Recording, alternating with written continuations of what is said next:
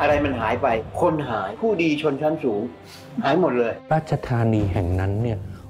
หมดสิ้นแล้วซึ่งความศักดิ์สิทธิ์เป็นสถานที่อันเป็นอวมงคล พอมันไม่เป็นพระราชวังแล้วมันตายมันไม่ตาย แต่มันตายโดยนักประวัติศาสตร์ไทยช่วยกันฆ่ากันให้มันตาย โดยนักศิลปากรไทยช่วยกันฆ่ามันให้มันตาย อยุธยาที่ไม่รู้จักตอนอยุธยาที่หายไป เริ่มตอนแรก วันเสาร์ที่ 5 สิงหาคมนี้ 21นาฬิกา10 นาที ทางไทย PBS